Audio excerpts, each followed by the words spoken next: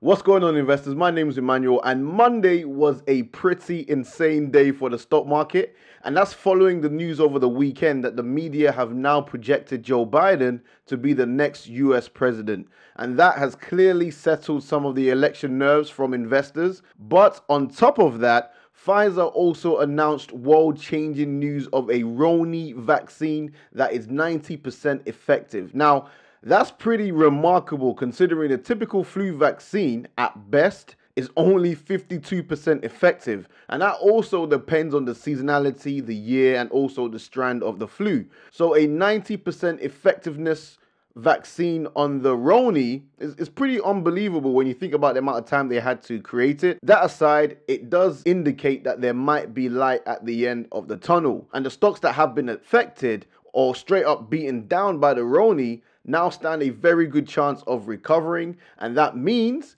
we as investors are now presented with some opportunities to buy some recovery stocks. So with that said, this video will be focused on my top 5 UK recovery stocks that stand to benefit from a post-Roni Rona era. Because in the words of the great Napoleon Hill, your big opportunity might be right where you are now. So we will start in the UK. However, I will post a US version next on my channel. So please definitely look out for that video as well. I'm excited to share these stocks with you today. But right before we jump into it, please don't forget to destroy that like button. It lets me know that you enjoy this type of content. Plus it helps my channel. And if you are new to the channel, then hit that subscribe button to stay up to date with my stock analysis, all the stocks that I buy, sell, and that are on my watch list, as well as any major stock related news. So with that said, Stay locked in, watch until the end, and let me know what your favorite UK recovery stocks are. Okay, so the first UK stock I really like is called the Sage Group PLC, and I have to give a quick shout out to my guy Yassine for recommending I take a look at this stock in the first place. I did, and it definitely caught my attention. So Sage Group did get hammered as a result of the Roni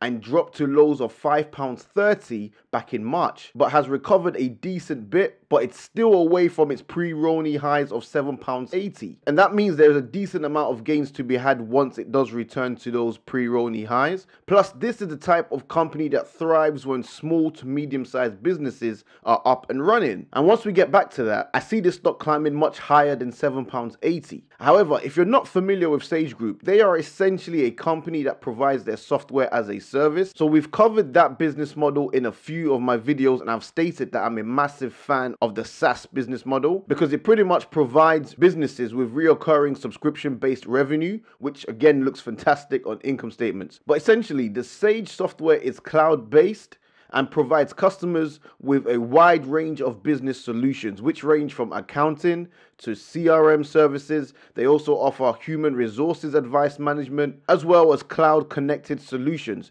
But to be honest, amongst all of that, I mainly know Sage for its accounting software because it helps with invoicing, expense management, compliance, and also with taxes. Plus, they are extremely useful for small to medium sized businesses. So, this was the first green flag for me because I know of the business and I know people who use their services for their own businesses on a regular basis. Now, when I started to look further into this company, Another major green flag for me was that they had expanded into countries outside of the UK. Presently, they have segments in North America, Northern and Central Europe, including France, and they also have segments in Africa and in the Middle East. Now, this was really great to see because we don't have that many UK based companies that have successfully expanded abroad. So, this was another huge green flag for me, and also a sign of really good management because they have the proven track record of expansion, which is what you like to see. Now, this company prior to the Roni Rona has been performing extremely well, especially from a financial perspective. They even had a solid start to the first half of 2020. Looking at their most recent financial results, total revenue grew from the six months ended 21st of March 2019 to 2020 from 957 million pounds to 975 million pounds, with a profit of 224 million pounds versus 154 million pounds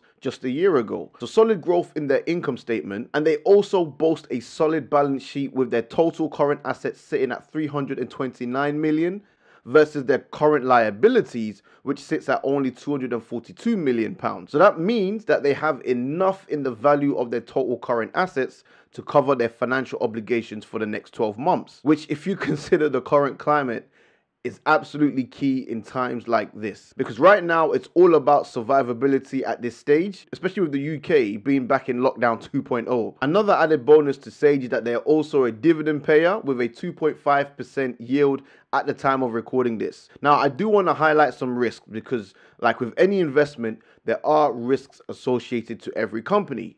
And with Sage, one of the main risks that they do have is a high debt to equity ratio, which is currently sitting at 62.7%. They currently have a 912 million pound position in cash and 1 billion in debt, which means they are slightly over leveraged. And that's something you would need to consider before you make an investing decision. Personally, I like the current share price of Sage right now purely because of the huge potential it has when small to medium sized businesses do begin to start back up once again. However, I would really love this company if it dips below £6.50, maybe into the low £6 region, but I'm not sure that's likely to happen right now. And there is a ton of upside potential for this company. So, Sage Group is my first recovery stock. So, my next recovery stock is BAE.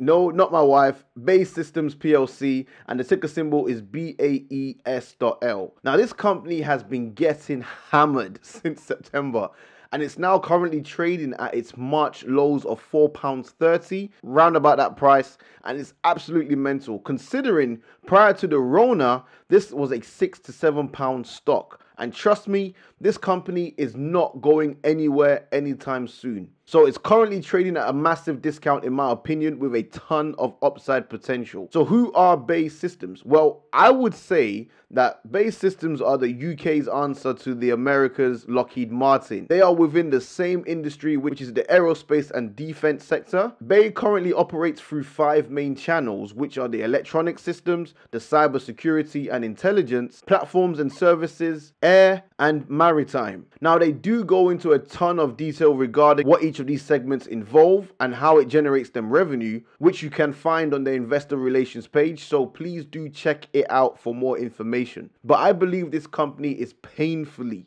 painfully undervalued right now, especially after they just recently won multiple contracts from the US Army on the 3rd of November. And that whole contract involves them developing key technologies for advanced teaming demonstration program, now, the contract itself is to aid the US Army with its vertical lift program, which is all well and good. But the main thing I wanted to know was how much this contract was worth. And it states here that the contract totals $9 million and also includes special awards. A $9 million contract isn't too bad for a company with a market cap of 13 billion pounds. But prior to this contract, just 18 days ago, BAE was also awarded another contract to help develop a digital design for unmanned aerial vehicles capable of autonomous functions. Now, this contract is a lot meatier, it's got a lot more beef on it. It has a ceiling value of $400 million, which would sit nicely on BAE's income statement. And speaking of income statement, I think part of the reason why their share price has been beaten down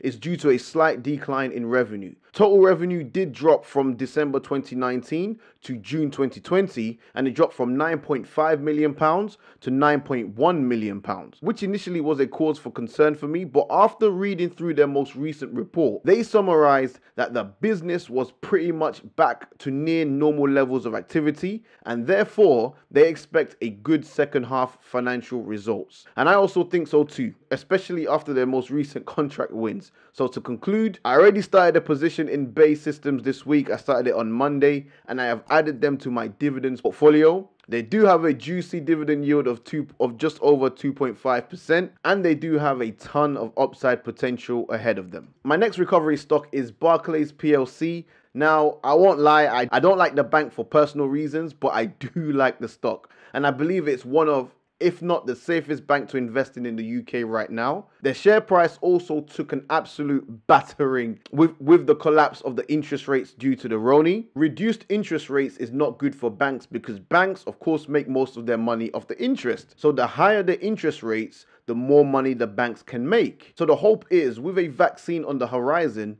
interest rates might start to go up, meaning banks can start to enjoy some increments on their revenue once again, which of course will boost profitability and that will make investors very happy to own the stock. Now, Barclays currently has a PE ratio which is way below the UK banking sector, and that makes it slightly undervalued at its current price. Earnings are also forecasted to grow by 40 plus percent in a recovering economy due to the possible rise in the interest rates once again. And as far as previous performance is concerned, earnings grew by 12% from the prior year. So it was doing really well pre Roni and I do see this stock back in the £1.80 range, even in the £2 range, which represents a significant amount of upside for us investors to capitalize from. Now, I did have this stock on my watch list, but I'm not going to lie, on Monday's trading session, I was busy taking profits from my medical MJ stocks. I will use those profits to invest in this company. And when I eventually do buy this company, I will let you know on my Instagram and also my Twitter. So follow me on those if you don't already. The links are in the description below. So my next two stocks are not complete complete recovery stocks because one of them has almost pretty much recovered from its lows and the other benefited massively from the Roni but did sell off on Monday with the rest of the tech stocks. However, this stock is in a booming industry and if it continues to decline, I will be buying, I will be loading the boat for its eventual recovery as the industry is in continues to boom. So let's start with that stock actually. The, that stock is called Keyword Studios. Ticker symbol is KWS.L. This is one of the rare UK tech stocks whose earnings are forecasted to grow at double digit rates, regardless of the economy. And I'm talking 35% plus per year, which is insane and it's because of the specific industry that Keyword Studios is in. So essentially, Keyword Studios outsource their creative and their technical services to the video game industry. And in fact, on their recent presentation, their ambition is to be the go to for these types of services. So, straight away, I love that ambition. I like investing in companies that want to be the best in their field. So, with that said, what type of services do they provide? So Keyword Studios provides art services which involves creating video game graphics and concept art in 2D and 3D. They offer player support all year round, 24 hours a day, 7 days a week in multiple languages, which is crazy impressive. They also curate game forums and social media engagement. They offer full game development and audio services as well as functional testing, which includes quality assurance tests and localization testing. Okay, so now you know what the company does. What is the opportunity? Well, according to a recent re market research report regarding the growth of the gaming industry, the global video game market size is valued at $151 billion in 2019 and is expected to continue to grow at a compounded annual growth rate of 12.9% from 2020 to 2027. This was a study based on 2019 projections meaning they haven't even measured the huge impact and the propelling effect that the Roni has had on the gaming industry with more people who've been at home and now joined the gaming industry. This industry is massive, it's fast growing, and companies like Keyword Studios stand to benefit, in my opinion. And investors clearly know this because despite the current uncertainty and soaring Roni numbers in the UK and the rest of the world, Keyword Studios has been performing like a US tech stock right now and is currently trading just below its all-time highs. It's been on an absolute tear since its lows in March, which it was trading at 13 pounds a share. And I personally would want to see a price correction. It currently had a correction on Monday, but I'm looking for a 10% pullback to about the 20 pounds 50 range before I decide to invest in this company. I just don't feel comfortable buying a stock right at its all-time highs no matter how amazing the company is. So I'm looking for a 10 to 15% discount. But the financials of this company is also really impressive. Revenues have only been going in one direction and that's up. Although as of their most recent filings, revenues did see a slowdown from December 2019, but their cost of revenues did actually go up, which resulted in a reduced gross profit, and therefore their net income has also seen a slight reduction. So it would be interesting to see their performance in their next financials, but their balance sheets, these guys have one of the best balance sheets I've seen from a UK company period. Cash and cash equivalents is sitting at 101 million versus total debt, which is only 32 million. So they could quite easily clear off all the debt if they wanted to. Total current liabilities is sitting at 63 million versus total current assets, which is sitting, which is sitting at 190 million. Again, there's no short-term risk of bankruptcy for this company anytime soon. Shareholder equity has also been on a beautiful uptrend every single quarter, and that indicates to us investors that their assets are growing much faster than their liability, which is very, very good to see. So overall, solid financials of a great company that is in a rapidly growing industry. Keyword Studios, definitely have them on your watch list. A final UK stock that I really like is Rightmove, and this is one that I said is pretty much almost recovered. The ticker symbol is RMV.L, and I have covered Rightmove on my channel before, and I did actually buy some shares in that company a few months ago, about £5.50-ish. So the, for the purposes of the length of this video, I don't want this video to be too long. I won't go through the, my buy thesis for Rightmove, and I will link that video in the description below. So please do check it out if you want to know a bit more about Rightmove before you invest. But Rightmove has pretty much returned nearly all of its gains from the crash in March. And I'm not gonna lie, I made some very, very nice profits of investing in this company. But I still do favor this company in the long term. And I'm looking for opportunities to add if the share price does indeed dip below six pounds a share. Rightmove has been impacted by the Rona and did see a heavy decline in revenue. So I expect in the next report, revenues would actually decline even further. And that could start a panic amongst investors and they might sell, which of course will force the price lower. However, this company virtually has no debt it has an incredible operating margin and profit margin. Rightmove will thrive in the recovering UK economy because it does have a strong moat within the property market. And this is why I'm confident of its growth long term. But again, I am a buyer if this price drops below £6 a share due to the reduced revenue, and I will catch its recovery on the way back if it plays out that way. So there you have it, investors. Those are my top five UK recovery stocks to buy. Let me know in the comment section what you think of these companies. And if you do have any other suggestions, then of course, please feel free to leave it in the comment section below. So with all that said, Please make sure you do your own due diligence before you decide to invest in any stock or invest in any company. Remember, I am not a financial advisor, so please view my content as purely educational and not investing advice. If you do want to learn about investing in stocks, there are some useful links in the description below, including some books that I highly, highly recommend you purchase. So with all that said, guys, don't forget to smash the like button if you gain some value from this video hit the subscribe button and the notification bell if you want to see more content from me. Thank you so much for watching. I value your time and I'll catch you in the next one. Remember, the US version is coming out soon, so look out for that. Peace.